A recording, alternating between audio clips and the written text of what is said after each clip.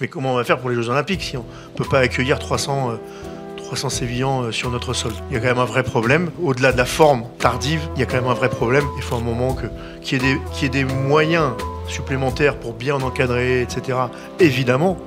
Mais de cette manière-là, je pense pas que ça soit la bonne solution. Comment dire qu'ici c'est Rome, empire, traîtrise et veulent pas viser le mais peut-être viser le crâne. Si, si, donc je ne roule qu'avec mon.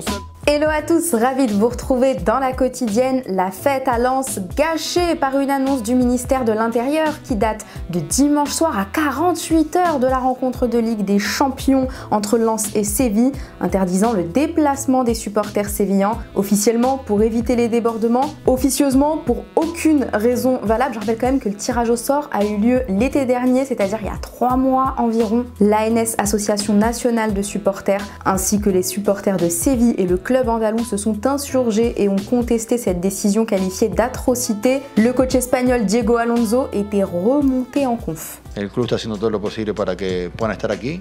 Eh, nos parece insólito, eh, vuelvo a repetir, una competencia de esta magnitud eh, estando en Europa, que, los aficionados, que nuestros aficionados no puedan, este, no puedan estar con nosotros, que, no, que les avisen además este, 24 horas antes del partido que, que no pueden competir. Et ce qui est bien, c'est qu'ils ont pu compter sur le soutien des Lensois avec Franck Hez en tête de gondole, lui qui a quand même autre chose à penser. Hein. Il a une qualif en Europa League à aller chercher en plus, mais il est sur tous les fronts. Les gens qui viennent euh, d'Espagne, les, les, les, fans de Séville, ont organisé euh, non pas un déplacement, mais un voyage. Ils sont 300 ou 400, et qu'au dernier moment, on leur dise non, euh, parce qu'il y a certains problèmes mais euh, que finalement tous les pays ont, hein, leur dise de rester chez eux à 10 mois de, l'organisation ou même pas 10 mois de, des Jeux Olympiques, mais comment on va faire pour les Jeux Olympiques? Toujours le mot juste, notre Franck et tous les recours possibles et imaginables hier ont été déposés. Ça a porté ses fruits. Aujourd'hui, l'interdiction de déplacement a été levée. Tout est mal qui finit bien. Ça donne une belle image de la France. Hein. C'est pas comme si on avait déjà raté l'organisation d'une finale de Ligue des Champions en 2022. On adore. Alors je vous pose la question du jour, comprenez-vous l'annonce initiale de dimanche soir qui interdit le déplacement de supporters sévillants à Lens? Vous nous dites tout et demain on sélectionnera commentaires. Tenez, demain le PSG se déplace à Dortmund et devinez quoi? 3500 à 4000 fans parisiens seront au Signal Iduna Park pour les soutenir. Merci à nos amis allemands d'accueillir les Frenchies pour la fête, peu importe l'issue. Et de façon, le PSG a d'autres compétitions à jouer comme la Coupe de France par exemple, dont c'était le tirage au sort hier soir. Pour les 32e de finale, c'est l'US Revel, club de Régional 1 qui hérite des Parisiens. Joie mesurée pour eux à l'annonce de cette affiche. 诶诶我要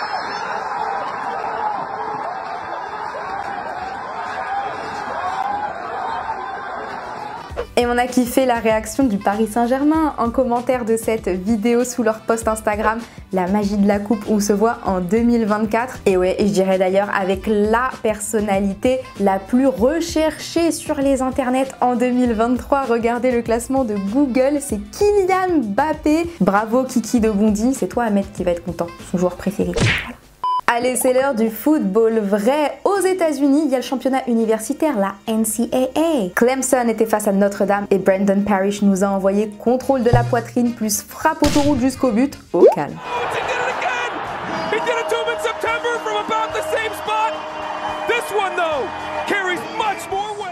Euh, excusez-moi de vous déranger, quand est-ce qu'on va se rendre compte que le football est une fête, un sport et un divertissement avant tout?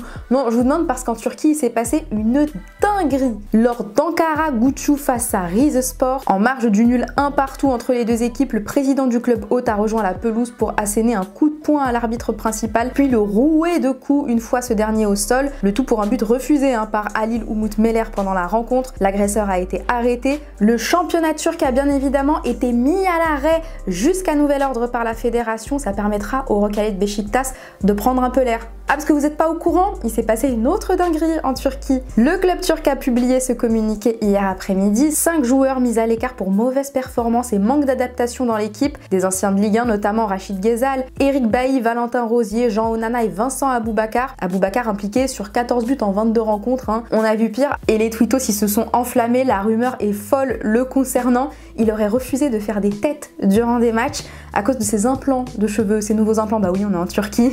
Bon, ça reste à confirmer. Et story de Rachid Ghezal qui estime qu'il s'agit d'une exclusion injuste et politique. Le gars a appris ça sur les réseaux sociaux.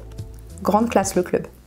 Oh là là, mais que vois-je, c'est incroyable, c'est validé, la rencontre Messi-Ronaldo aura bien lieu. L'Inter Miami a annoncé que le 1er février, le club se déplacera en Arabie Saoudite à l'occasion de la Riyadh Season Cup. Les Floridiens affronteront d'abord le Al Hilal de Neymar, ben sans Neymar, avant de se frotter à Al Nasr. Bon, ce serait quand même drôle que pendant le mercato hivernal, il y ait l'un des deux qui quitte son club. Hein.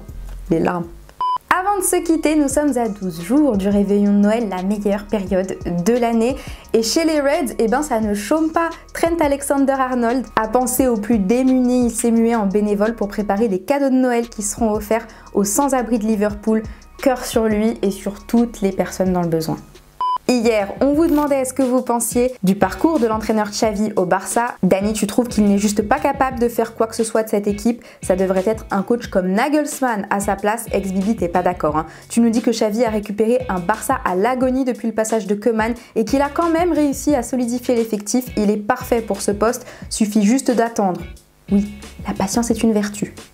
Et voilà, c'est déjà la fin de la quotidienne. Au passage, on dit quand même bravo à Victor Osimhen, élu Ballon d'Or africain de l'année devant Ashraf Hakimi et Mo Salah. Félicitations à lui. Nous, on va se retrouver demain et je vous laisse avec un bonbon. Restez branchés. À demain. Ciao. Salut Téléfoot. Bienvenue à Reims pour le 8 non. 8 non. Oui non. T'as dit 8 non. Bienvenue Téléfoot à Reims pour le jeu 8 non. Oui. C'est pas grave. si tu pas, je pas. Oui, oui, frère. Oui. Tu vas dire oui. Teddy, il paraît que depuis que votre entraîneur a réussi le challenge téléfoot, il a changé. C'est vrai? Oui. Oui. C'est vrai, Ludo? Oui. Vous aussi, vous l'avez réussi, euh, le challenge téléfoot, euh, Ludovic? Oui. C'est un miracle? Non. Une place européenne en fin de saison. Est-ce que vous y croyez, Teddy? Oui. Oui. Il paraît que votre coach est pisté par Sunderland. Rassurez-nous, il va rester avec vous jusqu'à la fin de la saison, Will Steele. Oui. Oui. Un jour, dans quelques années, est-ce que vous le voyez entraîner un top club européen, Will? Oui. Oui. On ne parle pas beaucoup euh, d'Ito et Nakamura. Vous pensez qu'ils sont sous-cotés, euh, vos deux coéquipiers japonais? Oui. Oui. Il s'appelle Teddy maintenant. Ah, tu, euh, tu réponds pour moi en fait. Vu que t'hésitais, je réponds pour toi. Euh, Teddy, Reims est l'équipe qui court le plus en Ligue 1. C'est grâce à vous? Non. Vous confirmez, Ludo? Pas grâce à moi non plus.